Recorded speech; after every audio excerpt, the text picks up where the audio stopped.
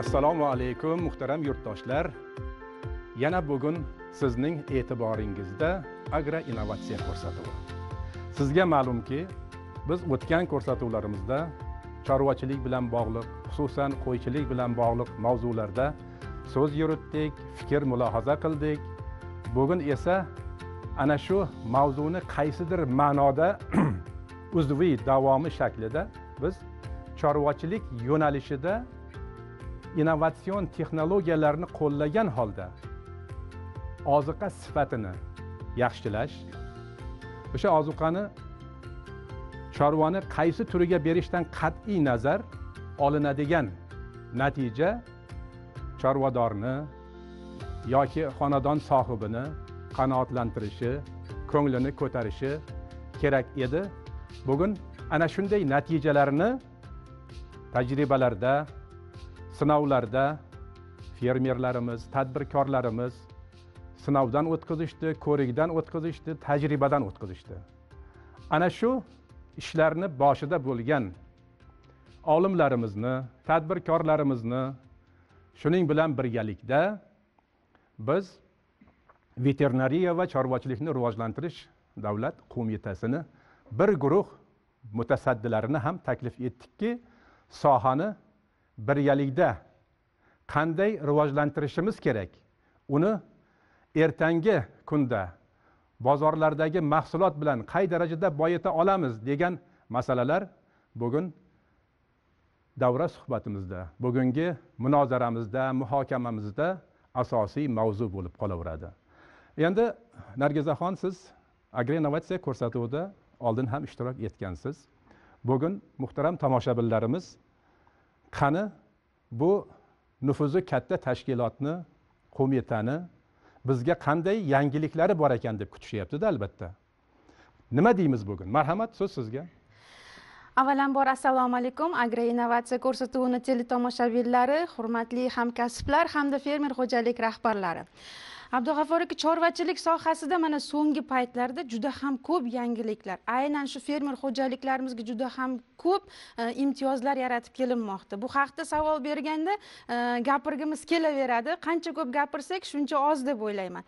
Xususan bugungi kunda chorvachilik yo'nalishida bir qator maqsadli va rejali ishlar amalga oshirilmoqda. Xususan loyihalar doirasidan boshlamoqchiman gapimni. E, mana bu yil chorvachilik sohasini o'zida bir ming ellik oltita ya'ni loyiha amalga oshirilishi rejalashtirilgan. Loyiha doirasida ikki ming yigirma birinchi yilning birinchi choragida yetmish uch ming boshdan ortiq ya'ni e, hayvonlar keltirildi chet davlatlardan. Oldingi yillari e, bizni mamlakatimizda bunaqa keng miqyosda misol uchun aberdin angus sharale zoti misol uchun merinos qo'y zotlarini ya'ni parvarishi keng ko'lamda joriy etilmagan edi. Lekin mana bu oxirgi davrlarga kelib e, mana misol uchun jizzax organikni misol qilmoqchiman. Jizzax organik tomonidan bugungi kunda besh ming bosh qoramol boqilmoqda. Aynan shu aberdin angus hamda gereford zotiga mansub bo'lgan. Ana shu zotli mollarni mahsuldorligi sut yo'nalishida qanday go'sht yo'nalishida qanday? Qisqacha ma'lumot bering. Aberdin angus hamda gereford bular e, go'sht yo'nalishidagi zotlar hisoblanadi. Mana jizzax organik tajribasini o'rgandik. Ular ham bugungi kunda e, turli xil innovatsion usullarda tejamkor usullarda oziqlantirish e, rejasini ishlab chiqib shu reja asosida ishlayapti. Aberdin angusni o'zi bir kunda ikki ming grammgacha semirish bo'yicha ratsionlari tuzilib kelinmoqda. Ikki ming grammgacha desak endi dehqoncha qilib aytsak bir kunda ikki kilogramm deb aytsak bo'ladimi? shunday. Ikki kilogramm. Bir kunda ikki kilogramm ikki kilogrammgacha gacha. Tirik vazn olish bir yarim bir ming sakkiz yuz shu atrofda bo'lishi ham mumkin. shu atrofida bo'lishi ham mumkin. Bu ikkita zot asosan go'sht go'sht yo'nalishida. ana shunday zotlar bugungi kunda mamlakatimizga kirib kelar ekan. Ana shunday zotlarimiz bugungi kunda ko'payar ekan. Chorva mol bosh soni oshib mahsuldorligimiz oshar ekan. Biz endi mana shu oziqlantirish texnologiyasining innovatsion usullarini ham ishlab chiqarish bo'yicha bir qator ishlarni amalga oshirishni boshladik xususan ikki ming yigirma birinchi yilda mana e, bunga hali alohida mutaxassislarimiz ham to'xtaladi. Biz o'zbek chorva nasli agentligi tomonidan oziqlantirishning ya'ni gidroponika usulida innovatsion usulda oziqlantirishning e, ya'ni to'rt yuz to'qsonta fermer xo'jaligida joriy etilishini rejalashtirib qo'ydik. Endi uzr gapingizni bo'laman sizlar endi rejalashtirdinglar to'g'rimi?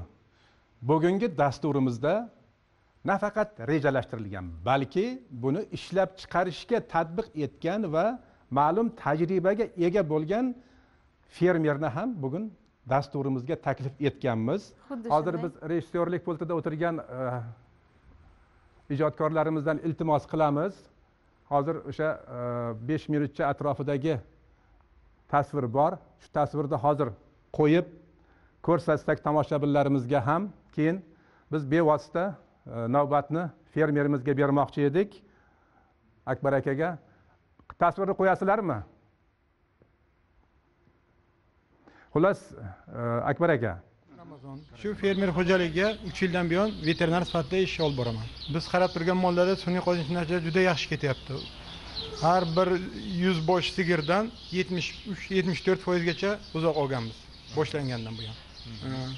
Kelajakka shuni 85-86 foizga ko'tarmoqchimiz.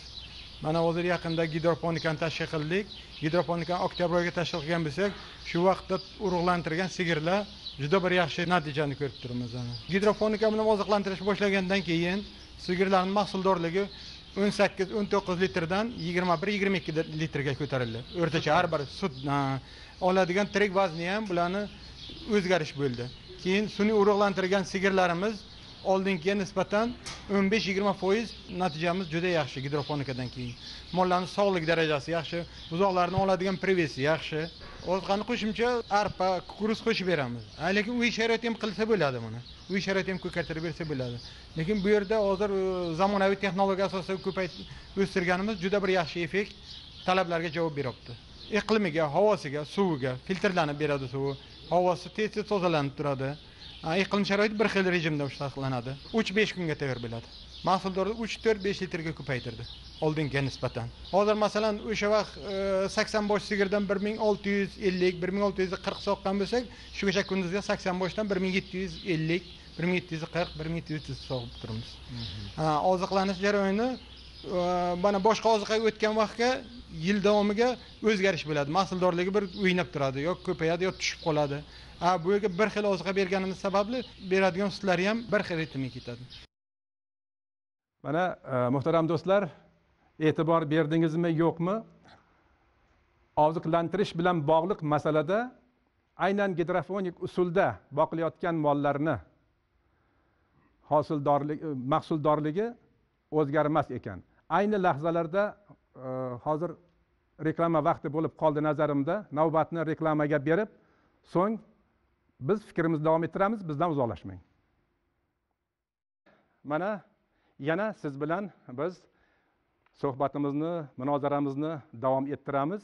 Hozirgina siz uzoq navoiy viloyatining eng chekka hududi bo'lgan zarafshonda boqilayotgan mollarni va u yerdagi holatni qisman ko'rdingiz.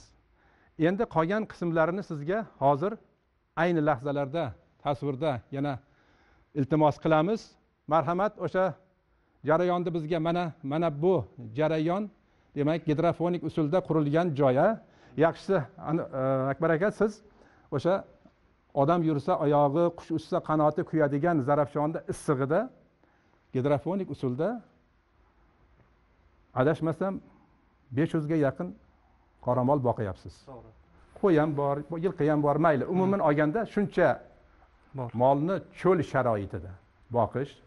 Biror gektar yerimiz yo'q. bedangiz yoki boshqa qo'shimcha oziqa oladigan joyingiz yo'q. To'g'rimi? To'ppa to'g'ri. Asosan hamma narsani sotib olaman dedingiz a menga. Mhm. suhbatlashganimizda sotib ikkalamiz. olamiz hammamiz.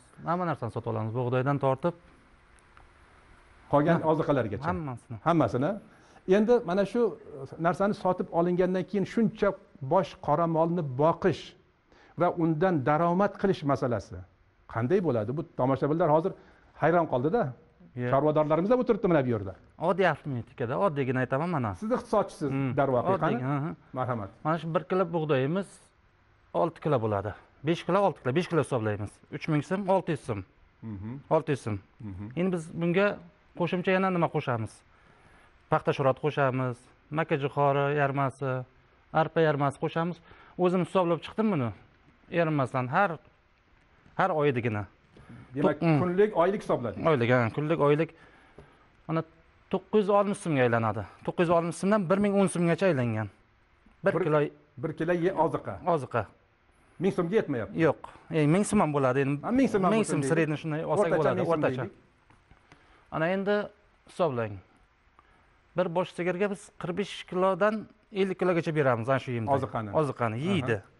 To'ymaydi bir sutkada bir sutkada uch Aha. mahal ho'p и mana допустим ellik ming hisoblaylik mana shuni ho'p ellik ellik ming so'm bo'ldi bir 50 ming kunlik oziqasi ellik ming so'm bo'ldi mana endi hisoblang eng средний mana o'n sakkiz litrdan yigirma ikki litrgacha yigirma to'rt litrgacha olamiz oldik sutni sutni bu ham o'ynab turadi bir xil bo'lmaydi baribir endi yigirma litr hisoblang o'rtacha O'rtacha. har bir bosh sigirdan yigirma litr qancha sog'in sigir bor hozir sakson olti. Yuzga 86. yaqini.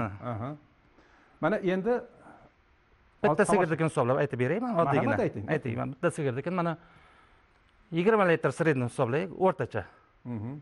bir yillik e, yilda oladigan bo'lsak uch yuz oltmish besh kunda nechi kunida sut beradi sigir? Endi yetti oy to'liq beradi. Yetti oy to'liq. Yetti oyimiz kunga aylantirsak qancha bo'ladi? Ikki yuz ikki yuz o'n kun ik- ikki yuz ho'p o'ttizdan bo'lsa ikki yuz o'n kunda ho'p ikki yuz o'n kun bo'lsin deylik. Mhm. qancha tonna sut bo'lyapti? Ikki yuz o'n kunda bitta sigirdan Aha. endi yigirma litrdan bo'lsa bu to'rt tonnadan oshadi. To'rt tonnadan. Demak bosh soniga hisoblasak jami qancha bo'lyapti bir yilda? Bosh sonigami Ha. sakson bosh molni olaylik. Besh tonnadan грубо endi sakkiz karra besh.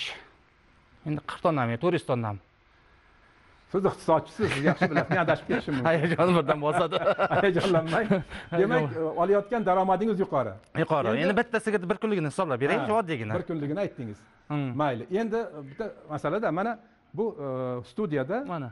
gidrofonik nima qo'yilgan mana bu yerda ham qo'yilgan mana tasvirda ko'ryapmiz mana shuni tayyorlash jarayoni. Hmm, mana tayyorlash studiyaga ham qo'ydik. Mana shuni demak e, Mana. nechi foizi somon yoki bo'lmasa aytganingizdek e, makka jo'xori yormasi arpa yormasi bo'lishi mumkin va nechi foizi bu haligi bug'doyni gidrofonik usulda o'stirganingizdan keyingi qo'shadiganingiz nechi foiz bo'ladi. Endi bu yerda biz har xil narsa boqamizda. Ho'p mana yilqi boqdik. Ho'p e, sog'im sigiri bor. Xo'sh. E burdoqchilik bor. Farqi nimada bunda? Farqi hammasini har xil qilib beramiz. Ha demak ratsioni har xil. Ratsion har xil. E qo'chqor boqdik. Ho'p hammasi nimasi qaysisiga masalan ellikka ellik qo'shdingiz qaysisiga bir sigirga yetmish qo'shdik. Sigirlarga endi sut ko'proq olish yetmish uchun foiz gidrofonik mahsulot berdingiz to'g'rimi? o'ttiz foiz yana samon hali boshqa ozuqalar mm, qo'shdingiz. Qo'shdik. Bu boyagi ishlayotgan texnika shuni tayyorlab beradi tayyorlab beradi. Eng kerakli narsa shu narsa ekan bizga. Ma'qul narsa tushdi shu. Sog'im zallari. Sog'adigan zalingiz bu. Mhm. ho'p yaxshi. Endi mana shu e, gidrofonik usulda mahsulot yetishtirishga qiziqish nimadan paydo bo'ldi? Cho'l sharoitida yer bo'lmasa boshqa narsa bo'lmasa va shuncha bosh molni qo'yni yilqini boqayotgan ekansiz buni mashaqqatini qiyinchiligini chorvada ishlagan odam juda yam yaxshi biladida endi. Masalan men tasavvur qilgan holatdan ko'ra siz yoki bu yerda o'tirgan fermerlarimiz yaxshiroq biladi. Mana shu qiyinchilikni zimmangizga olishga qo'rqmadingizmi? Endi nimaga qo'rqasiz? Endi bu to'g'ri majbur bo'lsangiz qilar ekansiz bu qilasiz a? endi mol boru yer yo'q. Majburmiz qiziqamiz. boqyapmiz qiziqamiz o'zimiz ham. Eng avvalo qiziqishga bog'liq. Qiziqishga. Judayam E- yaxshi. e'tibor. Yetishtirayotgan mahsulotingizni bozori qayer zarafshondan ortmaydi bizni o'zimiz shahrimizdan. Yetmasligi ham mumkinmi? Yetmaydi bu narsa. Kengaytirish kerakmi? Kengaytirish kerak bu narsa bo'yicha hali olib boryapmiz ish. Endi mana mana shu e, demak bug'doyni undirish xalqimiz biladiki ming yildan buyon sumalak qilishdi. Sumalak qilishdi bir ko'rganda o'sha narsada degan bir fikr paydo bo'ladi odamda birdaniga bu qanaqa yangilik deyish mumkin? Hayratlanibda lekin buni o'ziga xos siri sinoati borga o'xshayapti nazarimdada menga. Bor bor. Shuni bilsangiz marhamat aytib bering bo'lmasa mutaxassisga so'z beramiz. Endi bilganimcha aytaman man ayting. Mana bu nima veterinariya bo'yicha juda yaxshi ekan. Hazm darajasi yuqori. Mollar sog'lom bo'ladi. Ho'p sog'lom bo'ladi. Yana qanday? Qancha singadi organizmiga molni organizmiga? Mana o'zimiz saksondan yuqori. 80 dan saksondan to'qsongacha. Sakson to'qsongacha. Endi bir xil narsalarni beramiz. "Ey, shu narsani berasanmi deb savol beradida keladi bizni ko'radi. Ho'p sholin paxolini qo'shib beramiz. Xo'sh. Sholini kepagini qo'shamiz. Arzon narsa nima qilib turib hazm darajasi yuqori uchun shuni hazm qilaveradi mol. Mhm. oziqlanishi yaxshi. Yaxshi. foydasi yaxshi. Foydasi yaxshi.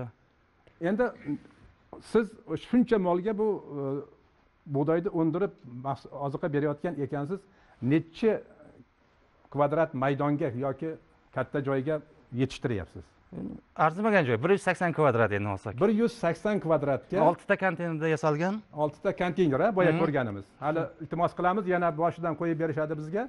Demak oltita konteynerda necha tonna bug'doyni bir kunda undirasiz? Yoki necha kilogrammni undirib tonnaga aylantira olasiz endi sakkiz yuz kilodan bir tonnagacha qo'yamizda bir kunda? Bir kunda bug'doy. Ho'p to'rt tonnadan besh tonnadan eng kami to'rt tonna nimasi olti tonna. Sredniyni o'rtacha besh tonna. Besh tonnaga aylanadi. Aylanadi. Shu qo'yganingiz qo'yganmiz. Endi mana qarang uch yuz oltmish besh kun chorva oziqlanishi kerak. Shart. Xuddi inson singari. Yetti oy sinab ko'rdik hozir yettinchi oy. Siz yettinchi oyda. Demak yetti oy davomida nechi tonna bug'doy kerak bo'ldi? Endi o'rtacha oyiga o'ttiz tonnadan hisoblaymiz. Endi mol boshimiz ham ko'pda bizda. Ha albatta. Mol boshi ko'p. Shuning uchun oyiga mol qancha ko'paysa mahsulot oziqa ham Hmm. ko'paytirish kerak oziqa ham ko'paytirish kerak. Mana natijasini ko'ribsiz yetti oydan buyon foydasini ham ko'rayotgan ekansiz. Sutni sifati go'shtni sifati juda yuqori. o'zgarish bo'ldimi? Tabiiy. Tabiiy man o'zim birinchi borib ertalab o'zim ichaman tabiiy umuman boshqa narsa u ekologik toza biologik toza deb aytiladigan gaplarimiz borda. Ko'p yozamiz gapiramiz lekin hayotda shunaqamikin hayotda xuddi shunday. Dehqoncha ichsak oddiy ichsak shu o'zingiz har kuni ichasiz. ichaman o'zim. Judayam yaxshi. Endi mana shu yetishtirayotgan mahsulotingizni boqayotgan molingizni soni hozir bozorga chiqarsak yetmaydi deyapsiz. Go'shti ham suti ham. To'g'rimi? Kengaytiraman deyapsiz. Hozir bir yuz sakson kvadrat maydonda kuniga kamida besh tonna oziqa tayyorlayapsiz. To'ppa to'g'ri buni o'zi bo'lmaydi kengaytirish rejangiz bor ekan. Endi studiyamizda mana mana shu narsani sizga taklif qilgan muzaffar aka turibdilar. Muzaffar aka o'tgan safar bizga qisqa ma'lumot bergandilar bu haqda. Bugun mana ikkalalaringiz hamkorlik qilganlaringizga yetti oy bo'libdi. Yetti oy sakkizinchi oy ham o'tdi уже sakkizga ham qadam qo'ydimi? Qo'ydi. judayam yaxshi. Mana hamkorlik muzaffar aka buni masalan chorva bilan shug'ullanayotgan odam bunday e, qaltis harakatni qilishi chorvador uchun ancha mashaqqatli ishda. Masalan katta mablag' sarflanishi mumkin ehtimol joy kerak elektr energiya kerak uzluksiz. To'g'rimi? To'ppa to'g'ri. Ana shunday holatda tavakkal qilish chorvadorlarga bu kishiga qadar oldin nechta odam bilan gaplashib ko'ndirolmagan edingizu bu kishini ko'ngani sababi nima? Qisqacha ayting. Assalomu alaykum. Endi akbar akani zakazlarni olishimizdan oldin o'ttizga yaqin uskunalar qo'ydik. Har xil hajmdagi uskunalar qoraqalpoqni o'ziga sakkizta uskuna qo'ydik. Vodiyda bor toshkent oblastida bor. Endi ko'p odamlar olamiz deydiku qiynalib turgan joylarini ham ko'ryapmizda odamlarni. U Muammolari ham fermerlarni o'ziga yarasha. mu- muammolari o'zlariga yarasha nimaga? Zalogi yo'q. Kredit olay desa zalogi yo'q. kafolati yo'q. Kafolati yo'q bizlarni uskunani banklar kafolat qilib olmayapti. Agarda ellik foizga olsa bizlarni uskunani olib foydalanadigan judayam ko'p tadbirkorlarimiz bor. Spiska juda katta ekan kutib turishibdi pulim bo'lsa xudo xohlasa olaman deb yaxshi. nimalar ko'p. E, demak kredit usulida qilish mumkin. Bu kishi bilan ishni boshlashda masalan asosan qanday harakatlandinglar akbar aka ko'p joylarni ko'rib keldi. Turkiyani ko'rdi chet davlatlarni ko'rdi. Shu vodiyda ham kimlardir qilayotgan Ishlarni ko'rdi. ishlatib ko'rdi. Kelib bizlardan nimaga bunchalik qimmat deb so'radi. Ha man uskunani. man tushuntirdimki akbar aka agarda bizlar sizga arzon qilib beradigan bo'lsak bizlar kafolat berolmaymiz. Ertaga o'ziga yarasha chiqadigan muammolar bor. Albatta. O'shaning uchun bu qimmat bo'lmaydi. Bir yilda oqlaydigan uskuna hech qachon qimmat hisoblanmaydi. Bir yilda oqlaydi? Bir yilda o'zini oqlaydi. Endi sir bo'lmasa keling. Hozir tomoshabinlarimizni ko'nglidan kechib turgan savolni bermoqchiman sizlarga. Akbar aka siz qancha millionga yoki undan ko'proqqa kamroqqa o'sha bir yuz sakson kvadrat maydonga uskunani o'rnatdingiz bir milliard uch yuz oltmish million. oltmish besh million a bir milliard uch yuz oltmish besh million. Bir milliard uch yuz oltmish besh million muhtaram do'stlar eshitib oling. Birdaniga hozir kapalagingiz uchib ketdi. O'rningizdan turib ketdingiz ba'zi chorvadorlarimiz lekin qoplaydi buni yetti oyda natijasini oyma oy hisoblab boryapsiz iqtisodchisiz a kasbingiz asli natijasi bir yilda o'zini qoplay oladimi? Endi sakson foizgacha qoplaydi. Sakson foiz. foizgacha bu sakson foizgacha degani yaxshi ko'rsatkich aslida juda yaxshi bu. Katta ko'rsatkich. Katta ko'rsatkich bu. Masalan kredit olib qiladigan odamlar uch yilga to'rt yilga besh yilga masalan cho'zadi. Agar siz hozir olgan e, o'rnatgan texnikangiz taxminan boringki ikki yilda qoplasin deylik ana.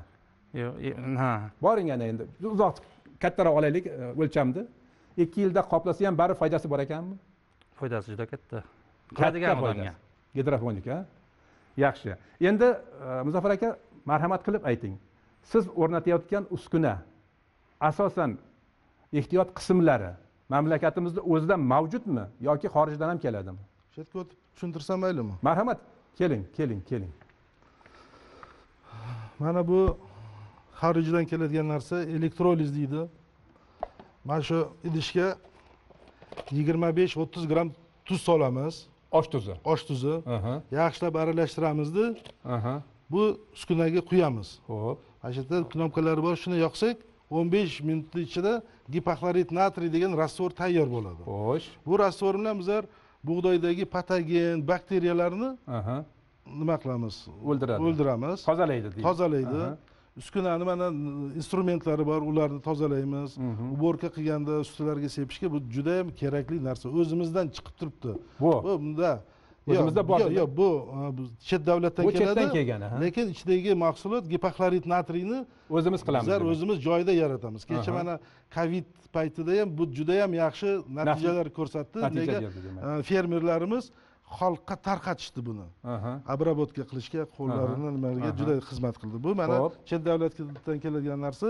Mana bu profillarimiz. Bu anodированный profil deb aytiladi har xil materialni ishlatib ko'rdik. U materiallar zanglaydi boshqa qiladi. To'g'ri kelmadi. Mana sakkiz yil beri sakkiz yildan beri bizlar Tajriba ta- tajriba qilib kelyapmizki bir to'xtamga kelganlaring shu bo'ldimi? bu bir to'xtamga kelganda bunga yetadigan material yo'q. Nega? Bu uskuna o'n yilgacha o'n besh yilgacha ishlash kerak. Aslida. Ishlaganda bir yilda bir yilga ha- chidab bersa ham katta gap. Lekin bu o'n besh yilga chidab beradigan narsa ho'p bu bizlarni e, akfa zavodimizdan chiqariladigan mahsulot qolipni bizlar o'zimiz zakaz qilganmiz. Buyurtmachi o'zlaringiz? buyurtmachi o'zimiz bizlarga qilib beradi. Mana shu qimmat ellik ikki ming ellik uch ming so'm turadi. Bir kilosi eng qimmatlaridan. Eng qimmat e, demak e, Materiallardan. materialingiz mana shu. Mana shu. Qolganlarchi?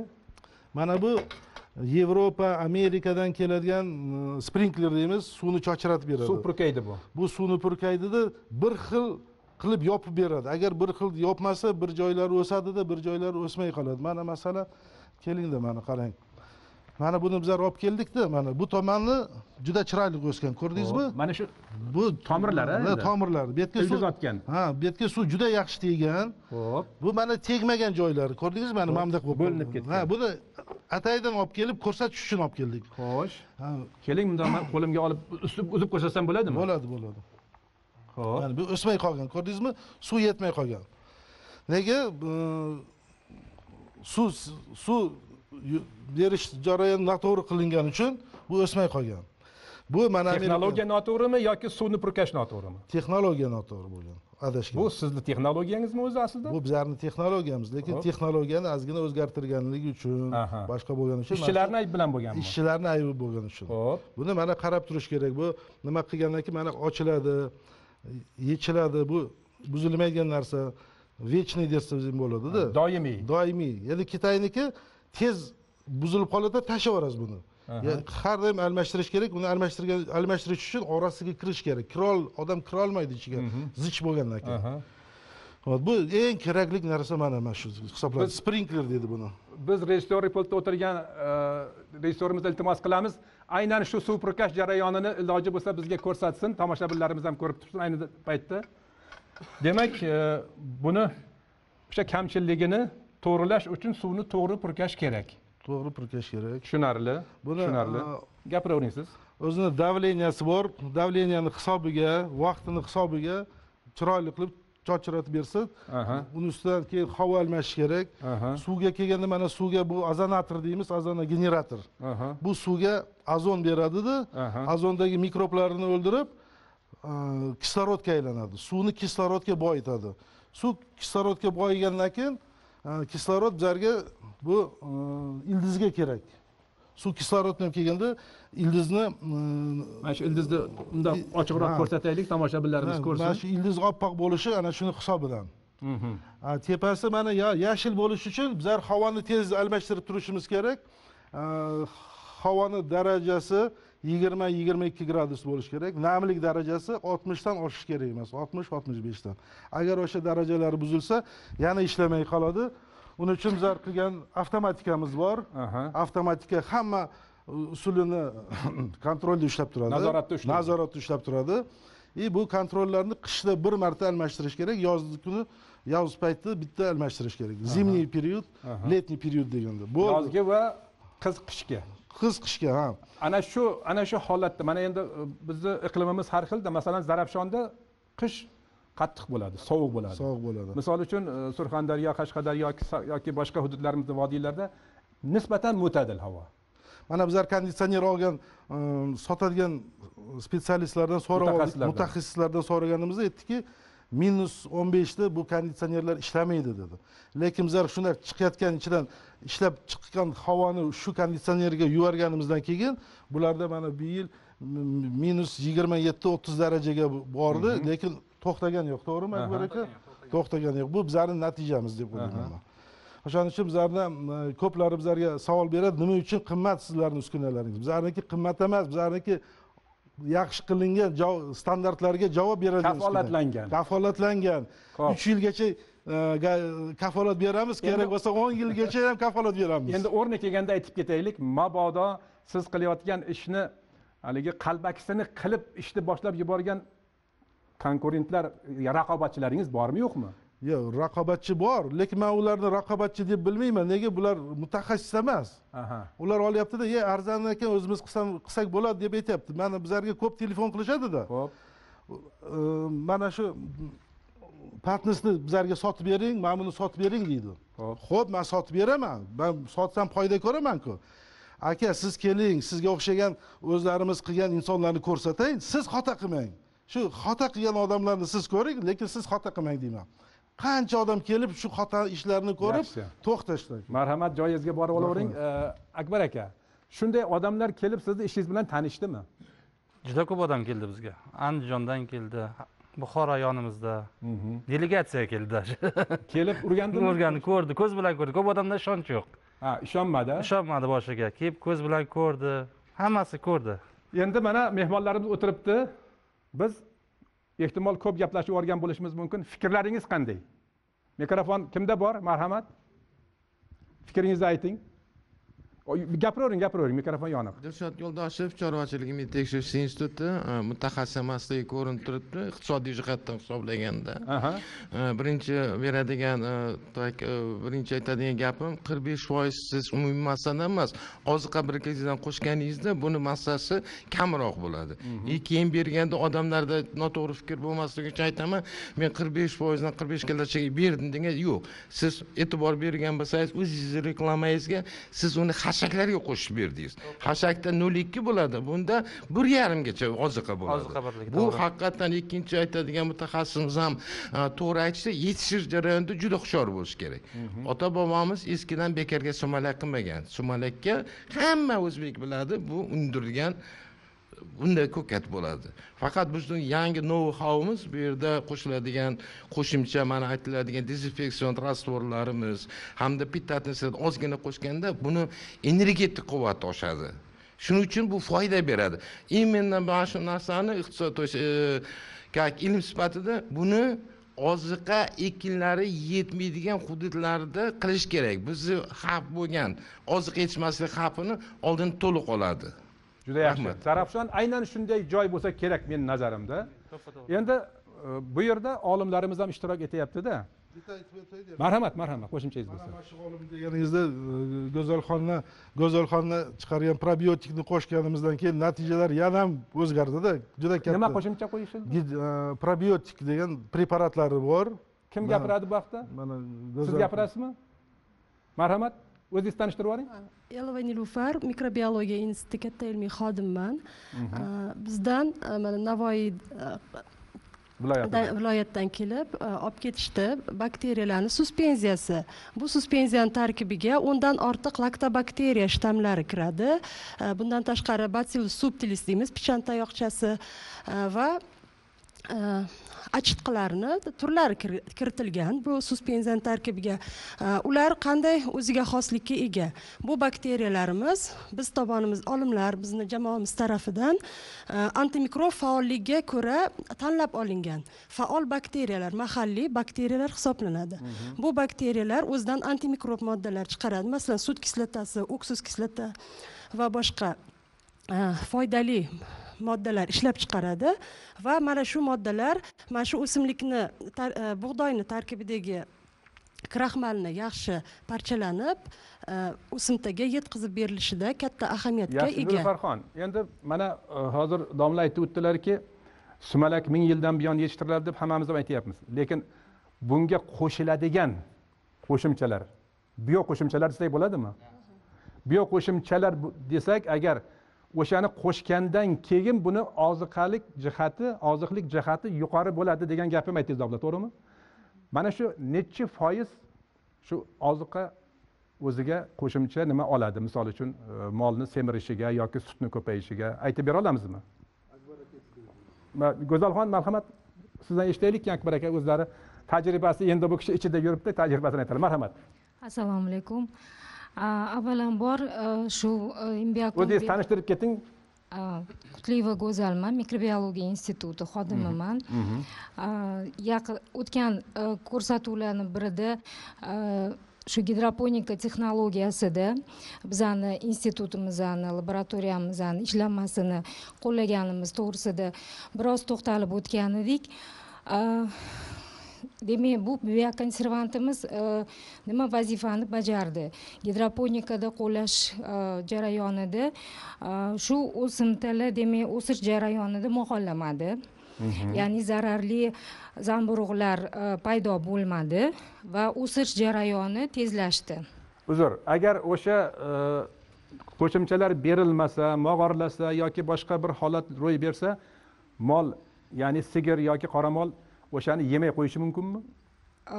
Yeyishi xavfli hisoblanadi. Xavfli hisoblanadimi? Ha, albatta xavfli bo'ladiki u mollar zaharlanadi. Zaharlanishi ham mumkin. tarkibida albatta al- tarkibida e, juda zaharli moddalar mikotoksinlar ajraladi. O'sha xavfni yo'qotish uchun demak institut olimlari ya'ni sizni jamoangiz nima ishlab chiqardik? Aniq nom bilan aytaylik dehqoncha qilib xalqqa. Imbiakon biopreparati. Probiotik bakteriyalar asosida preparat yaratilgan. Bu preparatni mana akbar aka juda minnatdorman. Shu insondan tadbirkor doimo harakatdalar doimo izlanishdalar doimo yangilikka intiladilar bizga shu jihatdan juda katta yordam beradilar. Bu jihatdan muzaffar aka bizga turtki berdilar shu gidroponikada qo'llanilishi bo'yicha va yana qo'shimcha aytmoqchi edim shu bizani probiotiklar bilan o'stirilgan gidroponika tekshirilganda uch foiz oqsil miqdori ya'ni protein miqdorini oshganini Oshgani. ko'rdik bu juda ham kichik kichik miqdorda qo'shilganda biza mana hozir yana tadqiqotlarimizni olib boramiz akbar akadan iltimos qilamizki shu har bitta jarayonimiz tajriba Aha. shu tajriba jarayonida masalan birinchi birlamchi a, bir tonnaga bir litr solgan bo'lsalar a, masalan ikkinchi jarayonida shu miqdorini ko'paytiraylik balki o'sha o'simtani o'sish jarayoni yana tezlashadi va tarkibidagi proteinni yana ko'payadi. Demak u e, marhamat siz shunga qo'shimcha qilib fikringizni aytib bering oldin. Ikki tonnaga ko'paytirdik. Ikki litrga. Bir barobarga ko'paytirdik. Yana nimasi oshdi man oddiygina tushuntirsam tushuntiring oddiy dehqoncha qilib? Mana qoramollarimizga berishni jarayonida borku. Oldin допустим bir soatda yeyardi endi o'sha. Bergan nimamizda. aha, bir soatda. Misol uchun o'n kilo bersak hozir shu qirq minutga ham qolmayapti уже Yeb qo'yyapti. yeb qo'yyapti. Bu qo'shimcha yana qo'shganingizdan keyin qo'shgandan keyin. Tezroq yeyapti и talashib yeyapti. Talashib deydi. Nima deydi mollar albatta talashib talashib yeyishib shu tomonlari yaxshi bo'ldi ishtahasi Ishtahani ko'tardi ochadi qo'shimchangiz bormi marhamat assalomu alaykum men fanlar akademiyasi mikrobiologiya instituti ilmiy xodimiman man shu ismi sharifingiz ismi sharifim to'rayeva bahora ismoilovnaman. Shu e, tadqiqotga ilmiy jihatdan qaraydigan bo'lsak e, o'sha o'simlikni e, o'stiruvchi xususiyatga ega gibrilin kislota va dal sirka kislotalari bo'ladi. Bular umumiy fitogormonlar deb nomlanadi. Aynan o'sha bizlarni sut achituvchi probiotik bakteriyalarimiz yuqori miqdorda o'sha o'stiruvchi xususiyatga ega gibrilin kislotani bu mahsulotlar hammasi mutlaqo ekologik xavfsiz hisoblanadi va o'sha ildiz sistemasini e, rivojlanishini kuchaytiruvchi kuchaytiruvchi indal sirka kislotalarini sintezlaydi. Yana e, biz e, o'sha laboratoriya tadqiqotlarida va dala amaliyotlariga shunga e, amin bo'lganmizki biz endi hozirgi kunda menimcha xalqimizni mikroorganizmlar deganda ancha ongi rivojlandi deb o'ylayman. Bunga sabab shu mana shu covidni kirib kelishi. O'simliklarda ham kasallik tarqatuvchi zararli fitopatogen mikroorganizmlar mavjud va ushbu mikroorganizmlarimiz e, inson organizmiga zararli bo'lgan zaharli e, moddalarni ajratadi. Bu e, fan tilida mikotoksinlar deb ataladi. O'sha aynan o'sha fitopatogen mikroorganizmlarga qarshi yuqori antagonistik fa- faollikka ega bo'lgan antibiotik tabiatli moddalarni ham sintezlash xususiyatiga ega. Judayam yaxshi. Ayni lahzalarda biz navbatni yana reklamaga beramizda so'ng fikrimizni davom ettiramiz. Muhtaram do'stlar mana siz agroinnovatsiya ko'rsatuvida bugun chorvachilik bilan bog'liq ozuqani tayyorlash uni natijalari sifati haqida eshityapsiz.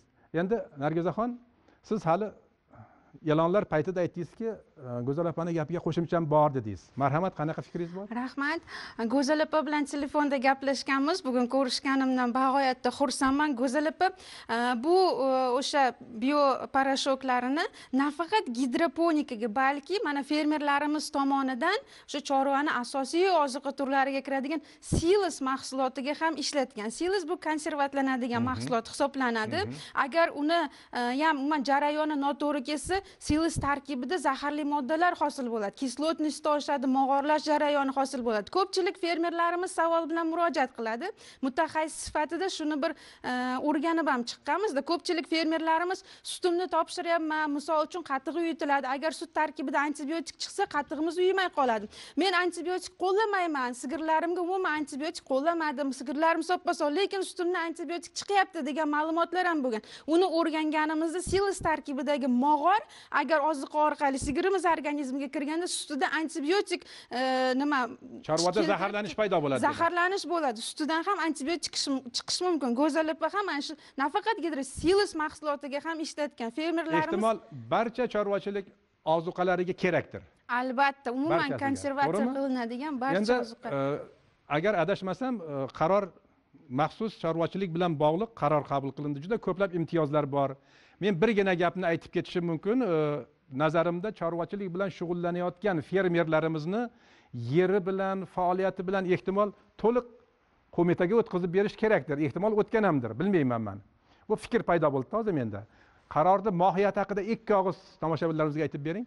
Tushundim rahmat. Mana kuni kecha bu tarixiy qaror bo'ldi chorvachilikda. Bu qarorni gapirganimda chorvadorlar nomidan faxrlanib gapiraman chunki arziydi. Chunki biz mutaxassislar fermerlarimiz chet davlatlariga borganda chet davlatlarida o'sha tirik chorva hayvonlariga subsidiya berilishida chorva hayvonlaridan olinadigan mahsulotlarga davlat tomonidan subsidiya beriladi deganda umuman shu e, nima bilan tajriba bilan tanishganda bizga orzuday bir ertakday tuyulardida. Lekin Nahotki degansizlar. nahotki derdik lekin mana endi yo'q. Kuni kecha ikki ming yigirma birinchi yil uchinchi mart kuni e, o'zbekiston respublikasi chorvachilik tarmog'ini davlat tomonidan yanada qo'llab quvvatlash chora tadbirlari to'g'risidagi prezidentimizning ellik o'n yettinchi sonli qarorlari qabul qilindi. Bu chorvachilik tarixida qoladigan hujjat bo'ldi desam adashmagan bo'laman. Oldinlari misol uchun o'tgan yili biz chet davlatdan kirib kelinadigan import ya'ni qilinadigan chorva mollariga subsidiya berardik. Ichki naslchilik xo'jaliklari tomonidan sotiladigan yetishtiriladigan g'unajinlarga subsidiya berilardik ana endi ushbu yangi qarorimiz bilan biz o'z xo'jaligida ya'ni qo'shimcha qiymat solig'ini to'lovchilarga chorvachilik mahsulotini yetishtirgani uchun subsidiya berish belgilab berilgan. Subsidiya parrandachilik baliqchilik chorvachilik mahsulotlariga miqdorini aytib keta olamizmi? Aytib keta bu olamiz kishi aytib beradimi bizga. Keling men Marhamat, to'xtalsam hozir endi kirishib ketdimda chorvachilik xo'jaliklarida qo'shimcha qiymat solig'ini to'lovchi ya'ni o'z xo'jaligida chorvachilik mahsulotini yetishtirganda go'shtga misol uchun tirik vazn bir kilo tirik vaznga ikki ming so'mdan sutning bir litriga ikki yuz so'mdan chorva parrandachilik sohasi tuxumning bir donasiga ellik so'mdan parranda go'shtiga sakkiz yuz so'mdan bir kilosiga baliqchilik yo'nalishida ikki xil sovuq suv baliqlari bor hamda boshqa turdagi baliqlar bor sovuq suv sovuq suv baliqlari ya'ni ularni parvarishiga parvarishiga sal ko'proq xarajat ketgani uchun lasos farel Uch baliqlarining bir kilo bir kilosiga uch mingdan. Boshqa turdagilarga ming ming so'mdan so'mdan to'g'ri. Nargizaxon endi menda taklif bor. Hozir biz qarorga batafsil to'xtamaylikda vaqtimizni hiso- hisobga olib shu qaror bilan bog'liq bir alohida ko'rsatuvni rejalashtirsak qo'mita qo'llab quvvatlaydimi tashkil albatta qilsak bo'ladimi? Albatta kelgusi dasturlarimizda muhtaram tomoshabinlarimiz sizni e'tiboringizga mana shu mavzuni dehqoncha qilib tushuntirib berishga mutaxassislar yordamida biz harakat qilamiz. Kelgusi dasturlarda deb va'da beryapmiz demak qo'llab quvvatlaysizlar a qo'llab endi quvvatlaymiz. bugun ohangarondan yana bir fermerimiz kelganlar. Hali ko'rsatuv avvalida bir gapni aytdilarki o'ttiz yildan buyonmi adashmasam g'allachilik bilan shug'ullanardim birdaniga chorvadorga aylanib qoldim dedida bu sababi nima endi shuni? Ohangaron tumanidan emas ismi sharifingiz? akrom fermer xo'jaligi rahbari alijon saidahmedovman judayam yaxshi mana o'ttiz yildan beri g'allachilik yo'nalishida ketyotgandik biza. Mana kuni kecha chiqqan mart oyidagi prezidentimizni ellik yettinchi qarori bilan mana tumanimiz chorvachilik yo'nalishiga to'liq. to'liq o'tdi. Shu qatorda mani fermer xo'jaligim ham to'liq g'allachilikdan chorvachilik yo'nalishiga o'tdik. Judayam yaxshi. Endi bu farmonni sekin mohiyatini qarasak e, hozir chorvachilikka misol uchun dehqoncha qilib aytganda besh milliard kredit olsak tadbirkorlik qo'l- qo'llab quvvatlash jamg'armasidan bizaga uni e, qo'llab quvvatlab bizaga yana qayta olishimiz mumkin ekan qo'llab quvvatlash mumkin. Yana qo'shimcha pul berish mumkin. qo'shimcha pul berishi mumkin ekan? Kafilligidan. Kafilligidan kafilligidan foydalanib yana tag'in qayta qayta moliyalashtirish mumkin. Bunda bizani fermer xo'jaligimiz nima deydi rivojlanib ketadi. Misol uchun kelasi anaqada man kelayotganda misol uchun yuzta qoramolga kredit olsam endi mana hozir bu yerda gidroponikaga yana kredit olishim mumkin yana boshqa narsaga kredit olishim mumkin manga. Chunki tadbirkorlik anaqasi menga jamg'armadan pul ajratib yordam beryapti bu bir so'z bilan. aytganda demak dehqonchi qarorni sizni faoliyatingizda hayotingizda dastlabki qadamlari qo'yildi deyishimiz mumkin. endi bugungi ko'rsatuvimizni ko'rib turibsiz suhbatlarni eshityapsiz biror bir qarorga keldingizmi? Biror bir fikr paydo bo'ldimi? Shu haqida ikki og'iz fikringiz. Fikrim hozir mani e, fikrimda qarordan anaqa qilib e, bir milliardlik kreditga anaqa berdik. Qoramol olib kelishga. Yaxshi. Men aytmoqchimanki gidrofonik usulda chorvani boqishga sizda qiziqish paydo qiziqish bo'ldimi bo'ldi ha? qilsa bo'larkanmi? Qilsa bo'lar ekan judayam bizani ohangaron sharoitida juda zo'r anaqa ekan. Man taklif bilan sharoit bor sharoit bor. Qilamiz. Endi e, muhtaram do'stlar bizni dasturimizda yana bir guruh mehmonlarimiz bor. Marhamat o'zingizni tanishtiring. Assalomu alaykum. Ismi sharifingiz? Meni ismim eshtemirov alijon Mhm. Uh, uh, men chorvachilik yo'nalishidagi tadbirkorman. Ho'p biz hozirgi kunda o'sha yevropa davlatlaridan o'sha germaniya davlatidan uh, именно o'sha buzoqlar uchun ozuqa qo'shimchalari olib kelyapmiz. Uh, hozirgi kunda prezidentimizni ellik o'n yettinchi qarori yaqinda chiqdi o'sha qaror asosida. Qo'shimcha qiymat solig'ini bir yuz sakson kun davomida to'lab berishga uh, to'lab berishga imkoniyat yaratdi. 180 imkoniyat yaratdi. bir yuz sakson kun imkoniyat yaratdi. Uh, biz masalan oldinlari o'sha qaror chiqqunga qadar mm, masalan bir milliardlik tovar olib kelsak o'sha ozuqa qo'shimcha olib kelsak o'sha qo'shimcha qiymat solig'ini birdaniga o'sha bir yuz ellik million so'mni Mhm. oldindan to'lab berishimiz kerak edi. Yaxshi bu qaror chiqqandan keyin hozirgi kunda o'sha bir yuz ellik million so'mni bir yuz sakson kun davomida to'lab berishingiz mumkin. Ha bir yuz sakson kun davomida to'lab berish mumkin. Endi menda bir savol paydo bo'ldi tabiiy. Mana Mhm. siz xorijdan import qilib olib kelayotgansiz maxsus buzoqlar uchun a? Mhm. afsuski bugungi dasturimizda biz e, buzoqlarimizni ko'rsata olmayapmiz zotli buzoqlar taklif etgan edik. Turli e, sharoit bo'lgan bo'lishi mumkin yo'lda boshqa bo'lishi mumkin. Xullas bugun biz aytmoqchi bo'lgan gap shuki buzoqlarni oziqasini ozuqasini xorijdan olib kelib berayotgan bo'lsak unga albatta valyuta sarflayapmiz. Shunaqa. Shuni o'zbekiston sharoitida olimlarimiz bilan maslahatlashgan holda qilishimiz mumkinmi? Albatta mumkin. A, biz bu ozuqa qo'shimchasini hozir a, o'sha birinchi yevropa davlatlaridan olib kelib o'zimizni a, viloyatlarimizdagi fermer xo'jaliklarida hozirgi kunda sinab ko'rdik. Ho'p A, bu o'z natijasini berdi. Hozirgi kunda o'sha fermerlarimiz mumkin bo'lsa bir og'iz farqini aytib keting. Nima ediyu nima bo'ldi? A, farqi qanaqa? Farqi masalan o'sha mana shu ozuqa qo'shimchalari berilgan buzoqlarda rivojlanish yaxshi sog'lom. Hech qanaqa nima deydi ishtaha salbiy ta'siri yo'q. Masalan a, ishtahasini ochadi bu ozuqa qo'shimcha ishtahasini ochadi. Tushunarli tushunarli. Rahmat. Endi yana qo'shimcha qilsak bo'ladimi? Ha? Qo'shimcha marhamat qo'shimcha qiling. Assalomu alaykum. Man shu korxonani mutaxassisiman veterinariya vrachiman ismim o'tkir nig'majonov Eh, biza asosiy olib keladigan ozuqa qo'shimchalar eh, dori vositalar desak ham bo'ladi. Ular hammasi tabiiy chunki hozir yevropa mamlakatlari antibiotiklardan voz kechgan. Biza tabiiy o'simliklardan yasalgan o'simliklarni moyidan yog'idan yoki shuni maydalab poroshogidan yasalgan eh, antibiotik emas probiotik prebiotik va fitogenetiklar. Shunaqa dorilarni olib kelyapmiz. Hozir bizada mana uch yildan beri o'zbekiston sharoitida shuni qo'llab ko'ryapmiz.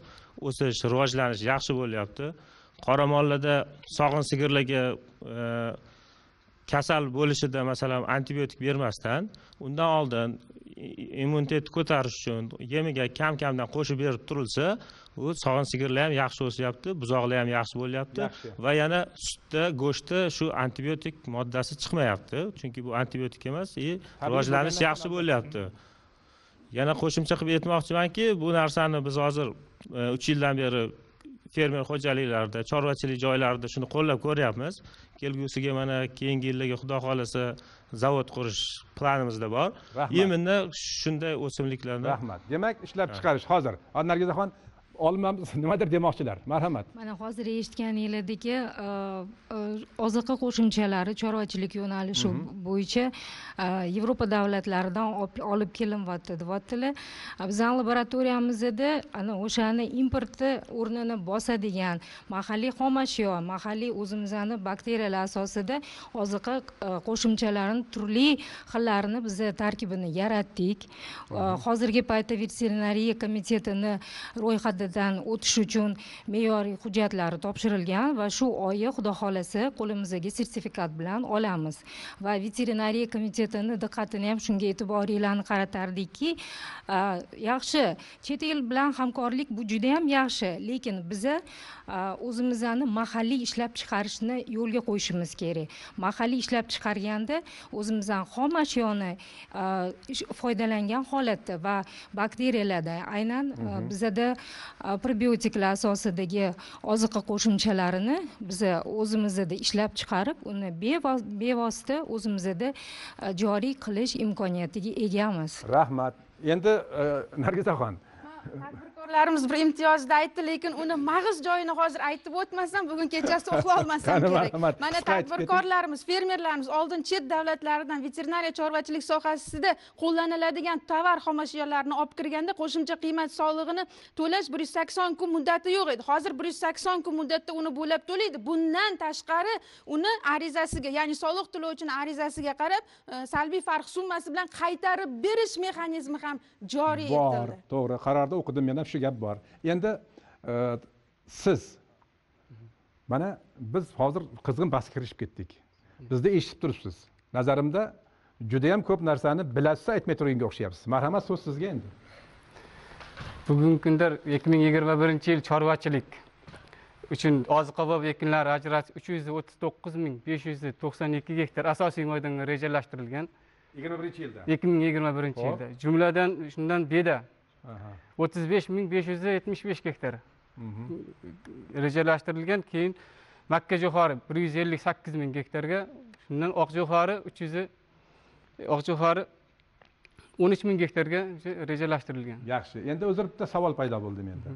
Bizni dasturlarimiz o'tgan e, sonlarida tomoshabinlarimiz ham aytgan edi. Hali darvoqe rejissyordan iltimos qilamiz. Bizni qo'l telefonimizni ekranlarda qo'ying. E, chorvadorlarni savollari bo'lishi mumkin mana shu holatda e, yerim yo'q yoki yer bermayapti xorijdan mol olib kelganman bir gektar ham yerim yo'q qiynalib ketdim deydigan holatlar ham bo'lgan edi. Men behuda boya aytib ketmadim ehtimol shu chorva bilan shug'ullanadigan fermerlarimizni to'liq sizni sizlarni xizmat qilayotgan qo'mitaga o'tkazib yuborilsa ehtimol muammolar yechilar hozir siz aytayotgan uch yuz qancha ming uch yuz o'ttiz to'qqiz ming uch yuz o'ttiz to'qqiz ming oziqa uchun yer ajratilganda ikki ming yigirma ajratilgan deyapsiz a Hmm, endi o'sha yer haqiqatdan ham fermerlarga beriladimi? Foydalana oladimi? degan masala borda. Chunki ular ko'proq telefon qiladiki yer ololmayapmiz deb. Muammosi bo'ladimi yo'qmi? Yo- muammolar yechim topganmi demoqchiman. Muammo bor. O'tgan yil siz o'tgan safar e, yig'ilishda aytib o'ttiz besh ming gektar o'sha yer yetmayotgandi chorvachilik fermer xo'jaliklari salomat bo'ling. Bugungi kunda hozir o'sha yerlari o'sha ajratib berildi. Chorvachilik fermerlarga qarorlarimiz farmonlarimiz chiqayotganda tuman hokimlariga ham o'sha katta yordam berib o'sha yerlar ajratyapti hozir o'n olti ming gektar o'sha yer qoldi yetishmaydigan chorvachilik yetishmaydi o'n olti mingga tushdi Ha, marhamat. Mana chorvador fermerlarimiz o'tiribdida. Mana aytdingiz batamom shu chorvani qo'mitaga olsa ikki ming o'n to'qqizinchi yili yigirma sakkizinchi mart kuni prezidentimiz ellik olti to'qson olti sonli e, sonli farmonlari qabul qilingan hamda qirq ikki ellik to'rtinchi sonli prezident qarori qabul qilingan. Ana shu qaror bilan chorvachilik va veterinariya sohasi bitta tizimga joylashdi. Ana shu qarorda mana fermer xo'jaliklarimiz bor bu endi bor haqiqat oldin fermer xo'jaliklarini yeriga misol uchun paxta g'alla ektirish e, holatlari ham bo'lgan. Lekin qirq ikki ellik to'rtinchi qarorda chorva uchun ajratilgan yer maydonlariga faqatgina chorva ozuqasi ekiladi deb belgilab berilgan. Bugungi kundagi imkoniyatlar ham aynan shu ikkita tizim bitta tashkilot bo'lgani uchun ham chorvachilik nargizaxon kechagina ijtimoiy tarmoqlarda bir qiziq narsaga ko'zim tushdi. Siz ham ko'rgan bo'lsangiz kerak. Nurobod tumanidagi qo'ylarni haligi yer bilan bog'liq boqish bilan bog'liq bir muammoga duch kelganligini va bu yechim topganini ham o'qidik. Endi mana shunday holatlarni paydo bo'lmasligi uchun veterinariya va chorvachilikni rivojlantirish qo'mitasi tashabbusni ehtimol qo'lga olishi kerakdir. Muhtaram do'stlar ayni lahzalarda biz agroinnovatsiya ko'rsatuvini yakunlash arafasida turibmiz chunki bir soat vaqt davomida siz bilan muloqotga kirishdik. Baholi qudrat. Albatta savollaringiz fikrlaringiz mulohazalaringiz bo'lishi mumkin. Bizni mobil raqamlarimizga qo'ng'iroq qiling. Savollaringizni yo'llang sms orqali yoki telegram kanali orqali yo'llang va siz bilan bo'ladigan muloqotlarni biz davom ettiramiz.